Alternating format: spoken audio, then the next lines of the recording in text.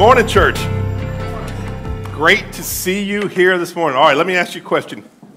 What food do you think of first when you hear the word Thanksgiving?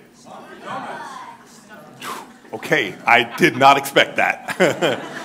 I thought for sure you would say turkey, but some of you said, what, Krispy Kreme? What was that? Maybe that's true. That's good. That's, every time Thanksgiving rolls around, inevitably, somebody post on social media the classic turkey drop from WKRP. Does anybody remember this, this show during the glorious 70s and early 80s? Yes, I see that hand. Yes. If you're not familiar with it, it's a classic story. You got Les Nessman, the, the naive uh, weatherman here on the top left, and you got the bumbling station manager on the top back right. His name's uh, what, Carlson? Arthur Carlson. And he's the bumbling station manager. If you're unfamiliar with the, with the, with the radio station, it's always in trouble and trying to raise money. And uh, the, for whatever reason, during Thanksgiving, the station manager thought it would be a good idea to promote the station by renting a helicopter and dropping something from the helicopter that usually it's money, something people would like, or t shirts, but not these guys. these guys thought because it was Thanksgiving, it would be a great idea to drop turkeys from a helicopter. And it is hysterical because at the end of the episode, you see the station manager come in covered with feathers, and with all sincerity, he says, As God is my witness, I thought turkeys could fly. I am so sorry. Which led to the famous and one and only, one and done turkey drop. And it was, they were cascading and coming down like wet bags of cement. You were hearing this stuff, and it was mass hysteria, and it was terror. And it was wonderful, but no turkeys were harmed in the filming of this, so don't, don't send PETA my way or anything. This is kind of the, the green light that it's Thanksgiving season, and I want to look at probably one of the most famous passages in the scriptures about Thanksgiving. It's an awesome story. You can turn to it if you want and hold your place there. It's in Luke chapter 17. And every time I study Luke 17, this passage, I find something new, like some hidden truth grenades, like some hidden gems and stuff no matter how many times I've read it, there's always some new truth that seems to come out. So I hope you will see some of these fresh revelations here that God is giving us. Luke 17, we're going to start here in verse 11. Read with me. It says, Now, as it happened, he went to Jerusalem, that he passed through the midst of Samaria and Galilee. Okay, so he's on the border here. Then, as he entered a certain village, there met him ten men who were lepers who stood afar off. And they lifted up their voices and said, Jesus, Master, have mercy on us. So when he saw them, he said to them, Go, show yourselves to the priests. And so it was that as they went, they were cleansed.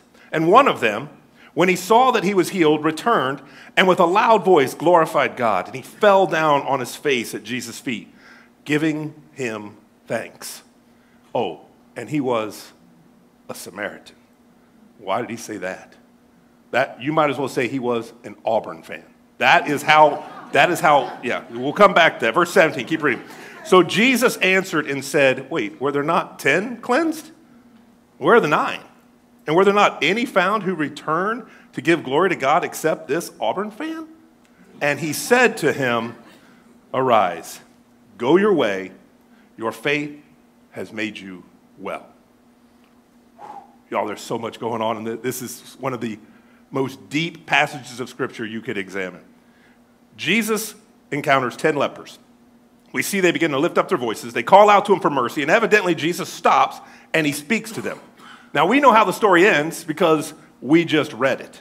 But there's still one part of this story that always surprises me. Every time I read it, all 10 of them were healed, and nine of them immediately rush off Maybe they're going to something good. Maybe they're going to see their family. You know, they haven't been able to see them in a while. Maybe they're going to see their, their fiance. They had to put the wedding on hold, or maybe they got a newborn child. It doesn't say.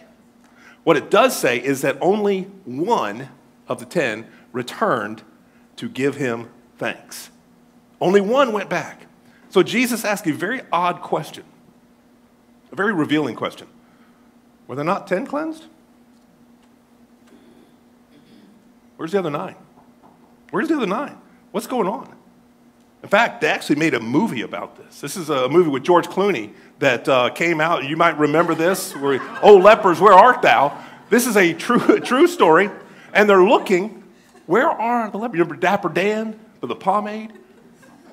When Jesus, it's almost like he, he channels this, this mathematical oddity. Like, where's the nine? I don't understand what's happening. So here's the question that leads us today How is our gratitude when God blesses us? Do we stop and truly say thanks? Or do we take the easy road and disappear with the nine, taking his blessings so for granted? And y'all, it is easy to do. I love how Jesus just cuts through all the noise and with one simple question, he zeroes in on what matters. Where's the nine? And I love how Luke records these are isolated lepers and they immediately jump up. They took action. It says they got up, lifted up their voices, and said, Jesus, Master, have mercy on us. Okay, so right out of the block, we see a huge truth. Your first truth today is this if we don't get up, we might miss the Master. Right? If we stay seated, we might miss the Savior. If we don't get up and do what God is asking us to do, we have a chance to have the Master pass us by. See, this phrase, they lifted up their voices, this means that they were literally shouting to Jesus. I don't know about you, but I don't enjoy being shouted at. But Jesus does something here. It's so unique. I want to ask the first question here why were they shouting at Jesus? You know, why did they just go up and go, hey, man, I heard you can heal. What's up? You want to heal me? He could have done that. Oh, but for one small reason they had leprosy. Now, leprosy is not terribly common in Apex, so maybe you're not familiar with that. Y'all, it was like giving a death sentence, a slow, agonizing death sentence. If you, if you haven't studied that, we, we looked into this years ago, and if, if you missed it or you've joined the church since then, let me just say it was the worst news you could get. The Mosaic law required that the minute you were diagnosed with leprosy, your life was over. You had to leave town. You had to go isolate yourself with a bunch of scary people, probably in a cave somewhere far away. You weren't even allowed back into the city. In fact, you couldn't even come within six feet of another human once you were diagnosed. Oh, and if the wind was blowing, you couldn't come within 50 yards of another human the rest of your life. And if you happened to be walking down a lonely road and a person who didn't have leprosy would stumble upon your path, inadvertently or unmistakably, you know, not, not knowing you were there, the leper was literally required to shout out a word of warning. Anybody know the word? Unclean! Unclean! Can you imagine the humiliation? You imagine the isolation and the loneliness? Unclean, unclean. And their appearance, it was frightening. See, leprosy began to attack the facial features and the extremities first, and then it moved on from there and it was a slow, lonely, agonizing death. Right? So when you think of these 10 men here in our story, they don't just have a cold, right? They don't just have COVID. They are desperate for healing. Their life is over. They haven't seen their family. They, they, they knew this was their one chance. And when they heard the rumor that Jesus was passing by, they're at a respectful distance. They're yelling to him. No wonder they got up and they're calling out for mercy. Jesus, Lord, please have mercy on me. I find it interesting that they could have asked him for anything. Jesus, food. They didn't cry out for that. They didn't cry out for shelter. They didn't cry out for higher wages. They didn't cry out to be called by their favorite pronouns. Their need was deeper than that. Their need was at their core. Their need was we need mercy. You ever felt like that? It's Thanksgiving. And inevitably on TV, you always see one of my favorite Thanksgiving movies Planes, Trains, and Automobiles. The TV edited version, by the way, so you don't have the airport scene where he gets really mad. But if you're unfamiliar with this, Steve Martin is desperately trying to get home. And everything, I mean everything, is going wrong. It's Murphy's Law in action. If anything can go wrong, it will. He's tried planes, gotten bumped, trains, automobiles, everything's broken down, caught fire. He has to spend night after night with this strange man who, bless his heart, means well, but he's the devil. He just torments him. He doesn't mean to. And finally, at his wits' end, Steve Martin is checking in a hotel. He's out of money. His credit cards have been burned up. And he's paying with his watch and $7. And he looks at the night shift manager and says, Please, sir, have mercy. I've been wearing the same underclothes since last Tuesday. You ever felt like that where you just needed mercy? Where everything has gone wrong and it's just like, what now? What next? That's where they were. These lepers needed a torrential downpour, wheelbarrowfuls of mercy drenched on them. Maybe you're there too. Maybe you've had the week from Hades, or the year, or two years. Maybe you feel like you're sitting beside the road and Jesus is walking by and you're kind of wondering, should I get up? Should I? I've never really called out to him before. I don't even know how to do that. Relax, you're in the right place. Jesus is still walking by. But if you don't get up, you might miss the master. You might miss a very special moment. In fact, you might miss the miracle as he walks by. Okay, so looking at this, the 10 lepers get up, but we see next, they don't just stand there, they go out. Keep reading. Christ says this He says, Go show yourselves to the priests. There's more hidden gold right here. You want some, you want some hidden truth grenades? This is incredible. And maybe you've missed it all these years like I have. Why did they have to go do this? Now, think about this. Jesus could have healed them instantly. He could have done that. When Jesus spoke these words, remember, they hadn't been healed yet. The healing doesn't happen until the next verse. So Jesus is telling these lepers who know they can't go anywhere in town, hey, I want you to go show yourselves to the priest. And they're like, wait, what? How could we can't show ourselves to the priest? We can't even go near the temple. They will stone us. And Jesus says, no, no, go show yourselves to the priest. And they're like, okay. And they took this incredible step of faith. See, this is this is so amazing. Why have to why are they going to show themselves at all? Why not just accept the healing? You ever wonder that?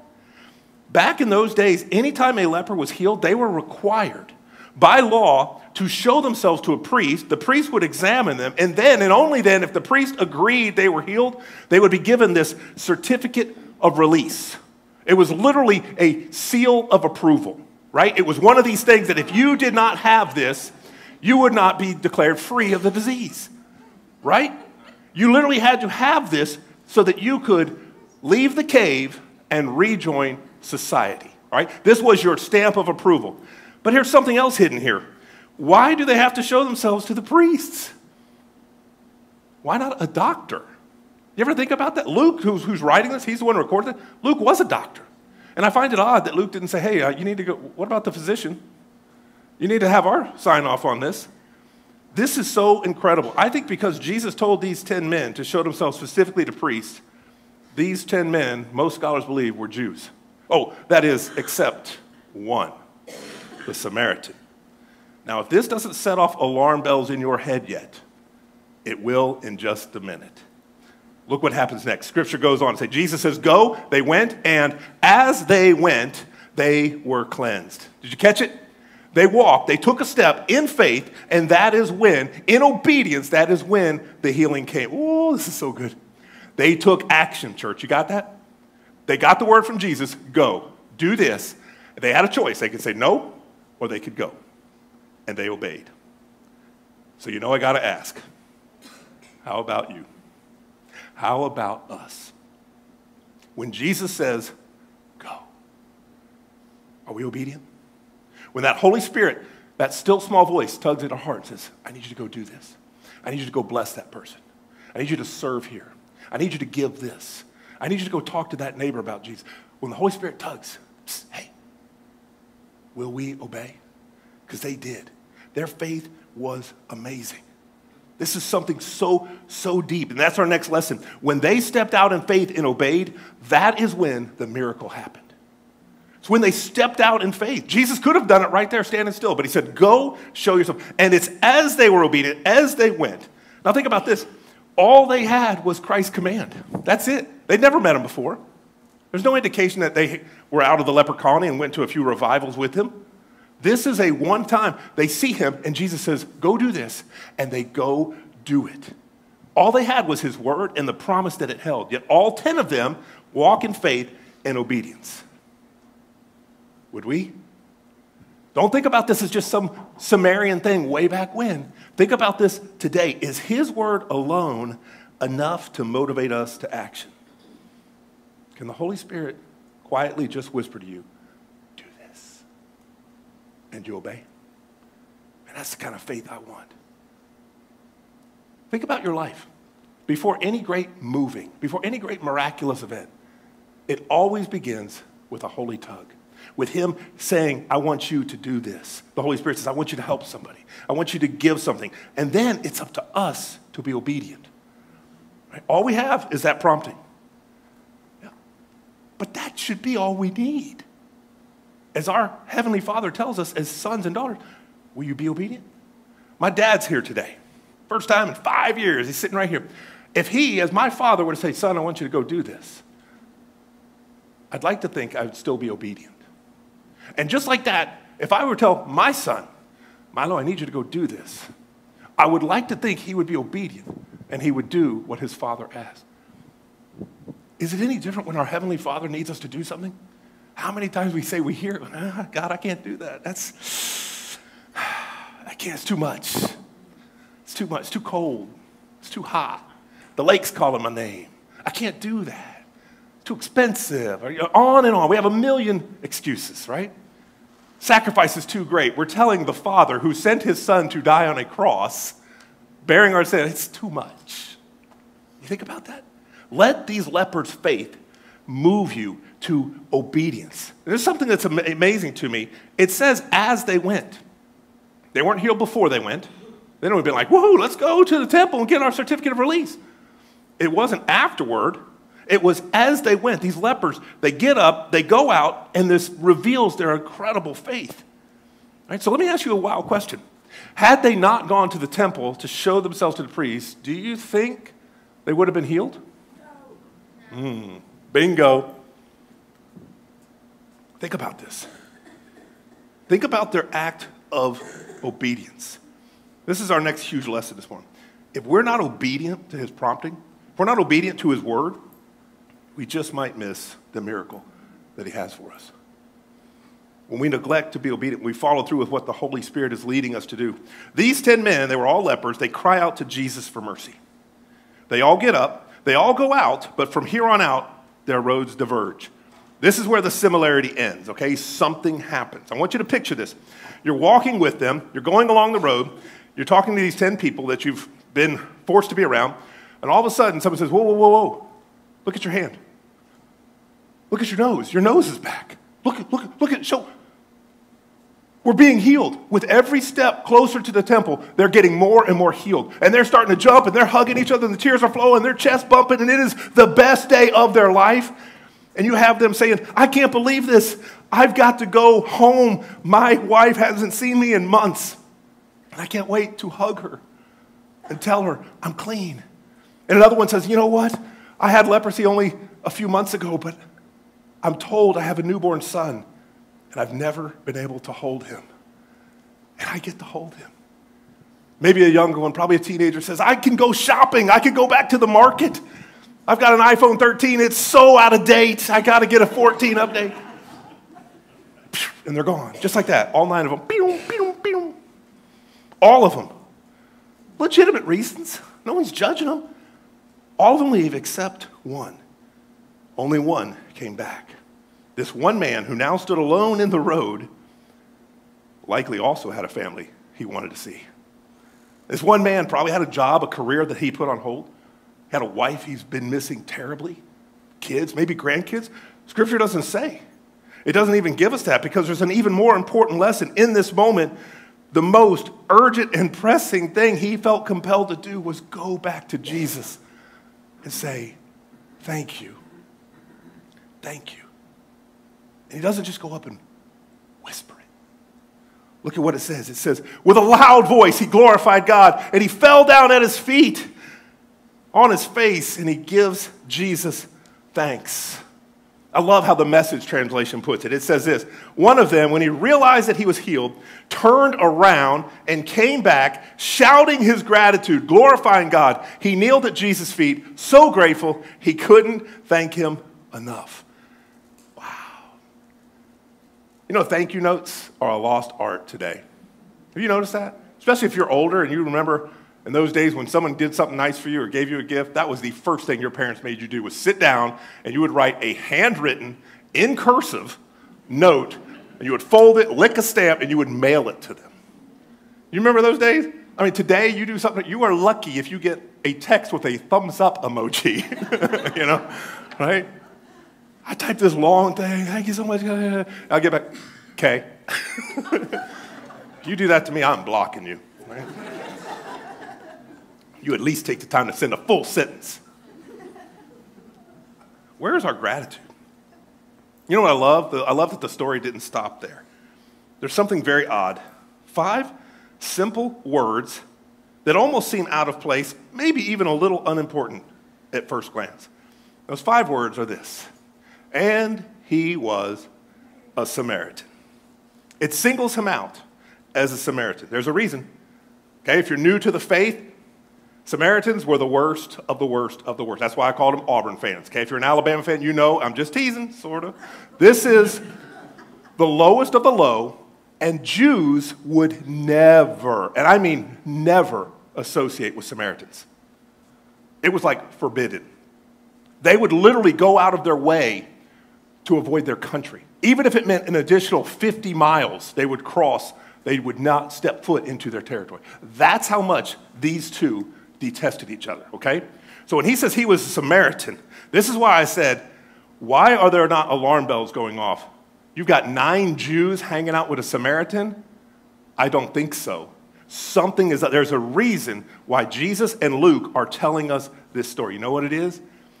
Because of their circumstance, their pride was shattered. Nothing mattered. They had a common thread of misery. They had something that brought them together. Now, from time to time, I don't like us to just think of this as a 2,000 years ago story, so I like to bring it into the modern era and use today's vernacular. Okay? So, to help paint a picture of how out of touch these two would be, imagine if this was Cobra Kai and you've got Johnny and Daniel-san coming together to fight. That would never happen. They hate each other oh, unless they had a common thread. Or you got Troy and Gabriella and Sharpay. They would never hang out together unless something brought them together and they did, we're all in this together. And they do their fancy song and everybody's happy. Or maybe you're a product of the 90s and this is more something that resonates with you. You would never have the cheerleader, the athlete, and the nerd and the brainiac. You would never have them come together. Something's up unless Bayside needed to be united for a common purpose. Maybe you're like me and you lived through the glorious golden age of cinema, the 80s. And if that's you, then you resonate with this. And you see the criminal, the athlete, the basket case, the princess, the brain. These people could not be further apart in the real life. You've been to school, you know. There are people just didn't say hi to you, and you didn't say hi to some of them. But one Saturday, because they had all day detention, they started out like this, and at the end, they were like this. Why? because their common misery in detention united them and it broke down the barriers. Now, do you see what is happening in this story? When you relate it to what we understand today, these 10 lepers, their common misery, joined them together in a brotherhood of suffering. It shattered pride, it evened the playing field. Now, if this isn't a lesson for the modern church to stop dividing and looking for labels and treating people different because they look different than you? Or they act different? Or they have different money than you? We are one church under the gospel and the lordship of Jesus. We have no room for pride. We have no room for these divisions. And I love how this Samaritan gets singled out for this incredible point. And it says he was the only one who returned. You know what? What's the name of the leper? Yeah, right? We're not even told the guy's name. Yet here we are 2,000 years later talking about him in Apex.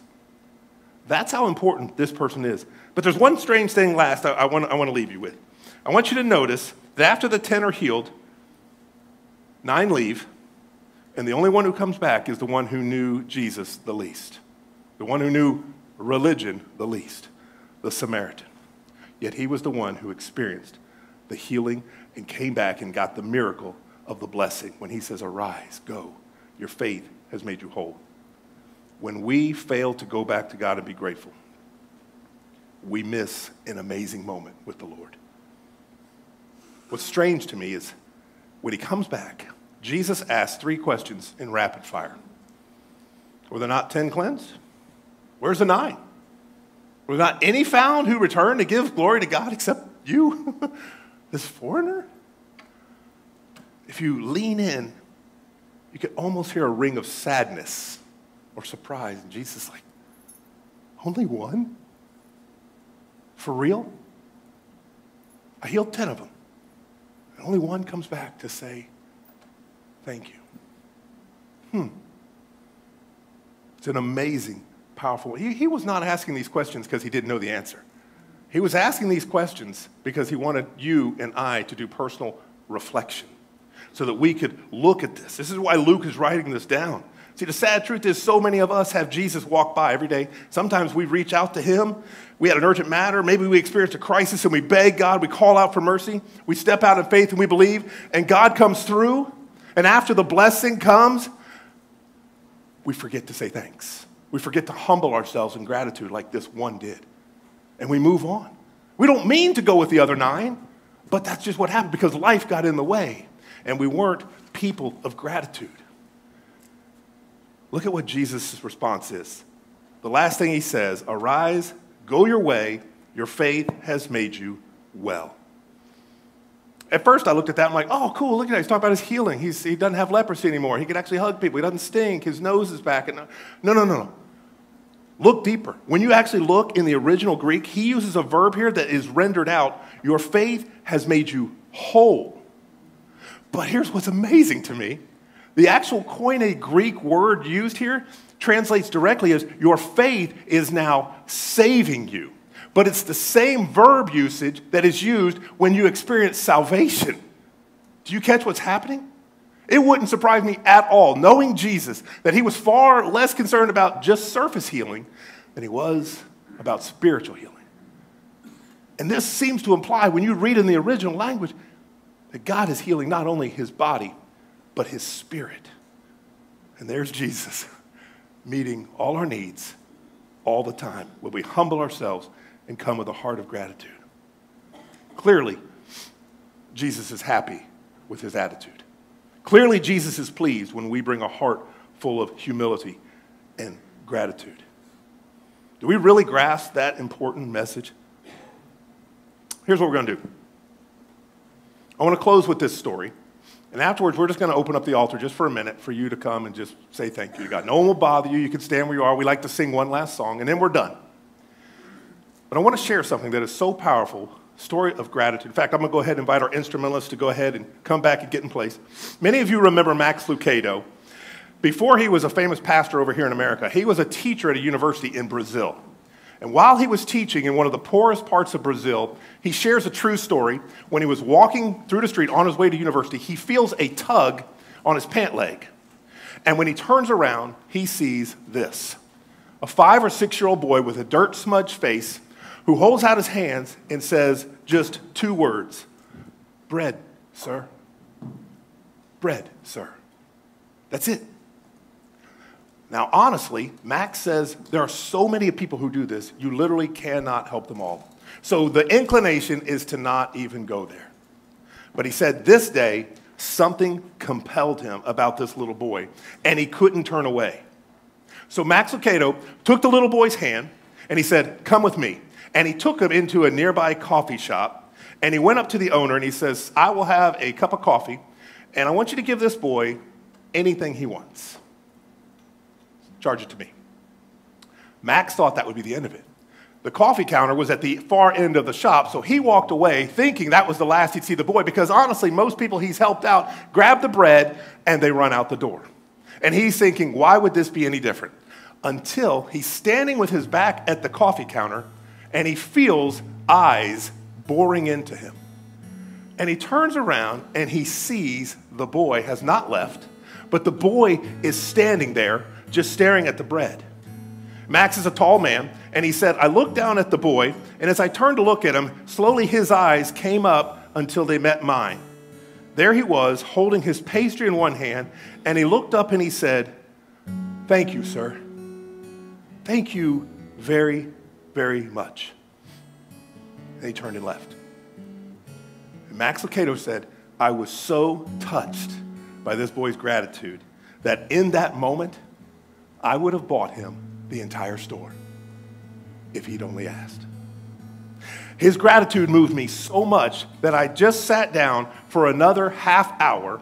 I missed the class that I was supposed to be teaching at university, and I just thought about the impact of a little beggar boy who I don't even know his name, the only one who came back and said, Thank you. And there it is. Your truth grenade to take with you.